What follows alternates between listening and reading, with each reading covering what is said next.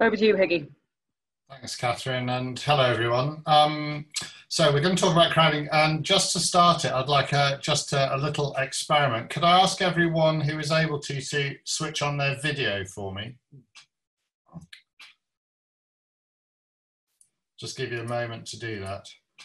So we've got uh, 70 participants, so maybe 60 clinical leads in the room. Um, uh, show of hands, who is experiencing crowding uh, as a returning phenomenon uh, in the room at the moment? And if we can scan up and down, I'm thinking that on the straw poll, it looks like it's pretty almost universal, isn't it? So it's hard to see everyone on the screen share. So um, this is a real problem that we uh, we do need to worry about. Thank you, guys. Um, so uh, we've, we've been worrying about a return to crowding really ever since we saw it disappear uh, back at the start of the COVID um, uh, crisis. And uh, you'll be aware at that time we released um, a document called Resetting Emergency Care, which was really in response to our concerns that although we were having a temporary reprieve, uh, crowding would return. Um, there's two things to think about there. One is that, that that episode proved that crowding isn't mandatory. You can operate in an uncrowded environment. And for many of us, it proved how wonderful emergency medicine can be when you operate in an uncrowded environment. Um, but now, of course, uh, it's returning um, uh, as we've just seen. So what, what can we do about it at this stage? So next slide, please, Catherine. So from a point of uh, uh, we're anxious that uh, we're not perceived as being a one-trick pony on this, and RCEM is, is doing a, a, a, significant amount around crowding still. You'll be aware of the RCEM Cares campaign, which Adrian is currently refreshing in light of uh, COVID, but which is still entirely valid. Um, we have been in regular consultation with policymakers. Uh, we've been thinking hard about how it applies in the COVID era and trying to uh, advocate, and we think pretty successfully um, in this regard. Um, the Winterflow project is restarting, and we've continued to engage with things like the clinical review standards and, and other policy initiatives, um, and supporting uh, individual departments as well. So there's quite a lot of work going on at RCEM around this, and we're anxious that that the uh, debate isn't isn't um, taken over solely about concerns or uh, worries about things like uh, 111 and the clinical review standards because we all know there is so much more to crowding than that. And to tackle this problem, uh, you need to think of it in the round. Thank you, Catherine. Next one. So I guess the question is uh, for us as, as clinical leaders, uh, what can what can we be doing? What can you as clinical leaders be doing if your department is becoming crowded?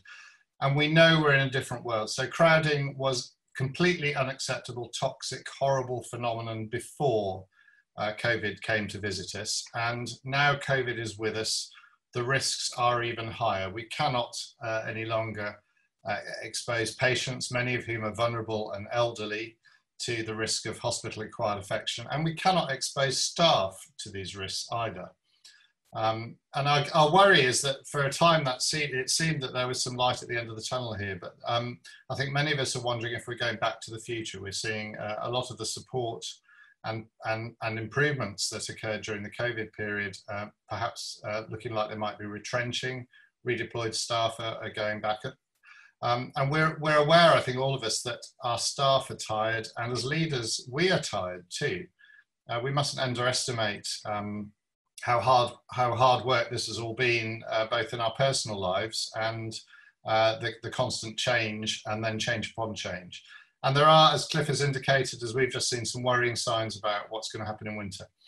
However, there is some opportunity here for positive change, and I think although we're all knackered, um, I think we we equally we must uh, we can't give up and roll over. Well, we can, but it's it's it's probably not the right thing to be doing at the moment. We need to keep uh, plugging away at this awful problem. And, uh, and I guess that's the first thing to say is um, uh, that for us as leaders is something uh, I think we still have to do. So we've released um, some guidance, which here, there's a link, I put it out on the Clinical Leaders website, uh, uh, giving some suggestions about how to approach this. Um, I've, I've, put together some highlights for this presentation. So if we go on to the next slide. So first thing really as leaders is, uh, is advocacy. Um, this is some, somewhat disappointing really. Uh, on one level, crowding isn't rocket science. We, we all know that um, uh, if our departments, if we have the right staff, the right space and flow, we basically know how to do our jobs and can run uh, excellent emergency departments. And I think once again, COVID showed that, if nothing else, um, that when our, when our departments are flowing freely and we've got the right tools to do our job, we know how to do our job. So it's not rocket science, but it's a very difficult, complicated, complex problem to solve. And disappointingly, there still seems to be a need for advocacy. And the, the need for this is is probably inversely related to the effectiveness of uh, senior leadership. So we know that engaged um, senior leaders who understand the problem uh, will be advocating, uh, if you like, on the behalf of the emergency department and its patients, because those, those patients are regarded as patients of the whole organisation or of the whole system and not just of the ED. Um, our, forgive me for the phone in the background. Um, I think if, if advocacy is needed, it is a bit disappointing, but um, we've suggested some ways to focus on it. And the document has been deliberately written so that it can be shared with senior leaders within your organization and within your system. Uh, and there are some, uh, if you like, some meta messages buried within the section on advocacy. So um, uh, there is still, uh, you know, a, a, clear case based on patient and staff experience and safety. That is absolutely undeniable and even more critical now. There are some ethical and legal frameworks which support the fact that crowding uh, should not be allowed to happen. Importantly, I think there's, uh, and this, this, this may become important, there's, there is a need to respect emergency department patients and staff. So it's not acceptable um, for us as a speciality to be the only speciality where IPC measures may not be seen uh, to apply. So uh, if, if we, for instance, are, are facing crowded emergency departments or the, the threat of crowded emergency departments because we are trying really hard to protect patients and staff within the hospital, it's not acceptable to expose our patients and staff to exactly the same risks that we are trying to protect other people from our, our patients and our staff aren't in any way different from other patients and staff in that respect. And then finally, um, the message that uh, we, we're always going to be there to provide a safety net for patients, but we, we, we really can't continue, continue to be the safety net for the whole system is an important one to, uh, for, us to be, for us to be pushing. Um, th there's no doubt that uh, emergency departments are better at some things than others and that uh, we are better focusing our skills on uh, particular patient groups and that other patients will get a, a, better service if they can access those services elsewhere. Now, um, uh, we've heard a lot about that today and I don't propose to dwell on that any further. Uh, next slide, please, Catherine. Uh, so, um, uh, next question to ask ourselves is, have, have our EDs adopted relevant good practice? Uh, and again, we've outlined these, but you'll notice this is a relatively short section within this document because uh, we don't want to continue to propagate the myth that ED crowding is all about the ED. Um, however, it really is important that we get our uh, collective acts together in our departments, not least because it's very hard to get traction elsewhere if, uh, if um, the Eye of Sauron continues to revert to the emergency department and look at we are perceived to be doing badly. Um, so doing our, doing our bit to get our IPC and COVID adaptations where they need to be, uh, to look at our staff space and processes and optimize them, and importantly, make the cases where there is a need for, for change or increased resources. Um, that's very important. Um, you'll notice the document also says that it's not just enough for us to be making the cases. Those cases need to be supported appropriately within organizations. And then uh, the final thing is um, uh, on the key points is consistent messaging uh, from uh, senior clinicians. It's very important that we in our departments present a united front within our organizations. Um, and that uh, managers, colleagues, um, whoever we are talking to and whoever we are trying to influence when we get the opportunity is getting the same message uh, from the team. And then finally, I think hopefully we're all there, but we need to work out what our safe capacity is this uh, winter. um, because a lot depends on that and a lot of escalation depends on that. There's more to it. It's all in the guidance. Those are the key points, perhaps. Next slide, please, Catherine. Um, next up is what can the system and organization be doing? Uh, and here you'll find an extensive uh, set of suggestions. It, it's not comprehensive by any means, um, uh, but perhaps some of the key things are, we, we all know that exit block trumps everything. Um, uh, I've used the sink as an analogy here. Um, if, if the drain from the sink is blocked, uh, the tap can be on full and the sink will fill up quickly. We can build a bigger sink, it'll just take longer to fill it up, but it will fill up. And if the tap is just dripping, it'll fill up slower, but it will still fill up. So exit block trumps everything. And I think we all know that. But uh, we still need to look at the problem in the round. Uh, so we do still need to look at whether there are alternatives to ED, which may be better for patients. And uh, that ED shouldn't be the default option of many pathways. And similarly, things like SDEC are really important for us to look at. Can we uh, find alternatives to admission? Uh, are there better things? Because generally those are better for patients and they're better for um, the system as well. Uh, we all know about bed occupancy within hospitals. They need to be staffed beds. Uh, just opening beds doesn't work if there aren't nurses to look after the patients and uh, teams of uh, inpatient doctors to look after them. And there are specific improvements we can make around general medical pathways and, and advocate for around speciality engagement. You'll find in the guidance a really long list, which I'm hoping will be useful as a kind of checklist to go through uh, with senior managers and system leaders to say, have we looked at this? Where are we with this?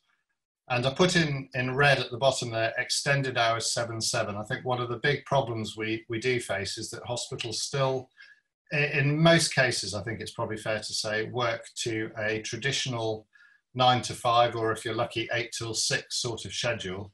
Don't necessarily work particularly well at the weekends, don't work necessarily well at uh, bank holidays, and don't work in the evenings. And that is one of the causes of crowding. And I think it's, it's important that we advocate that any alternatives are accessible and they work extended hours and throughout the week because we all know that if they don't, um, it adds to the problems. Uh, next one, please, Catherine.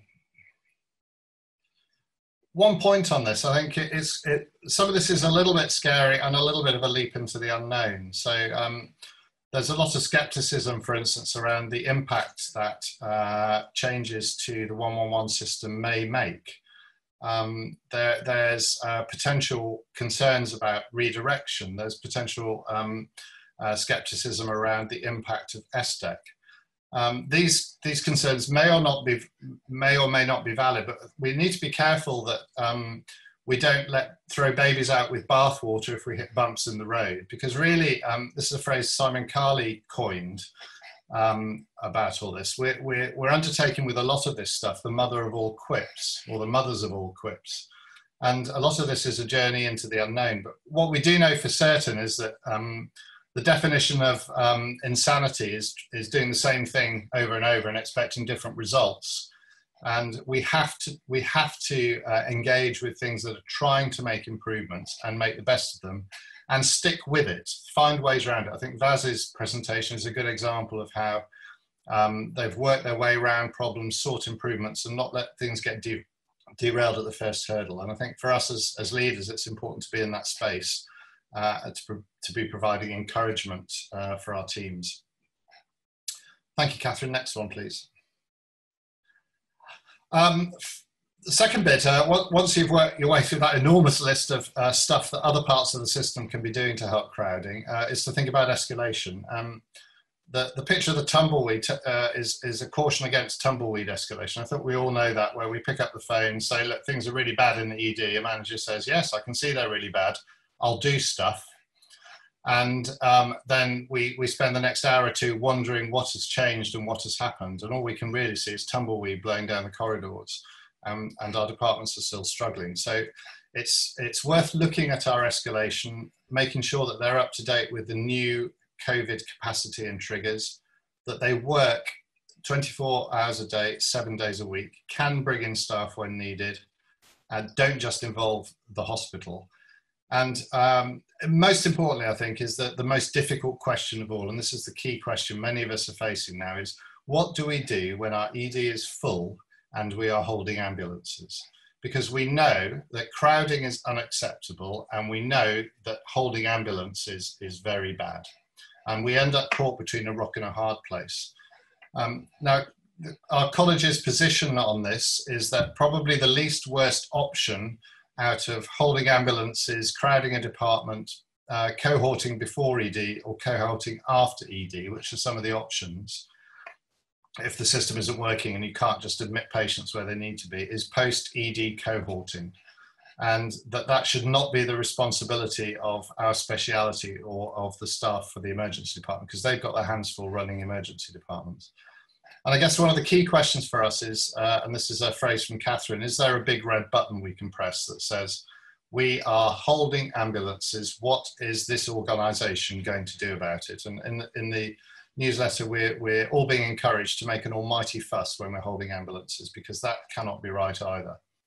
So we need to look at our processes and we need to look at escalation and, and start making noises about this is not good enough crowding is not good enough, and holding ambulances is not good enough either.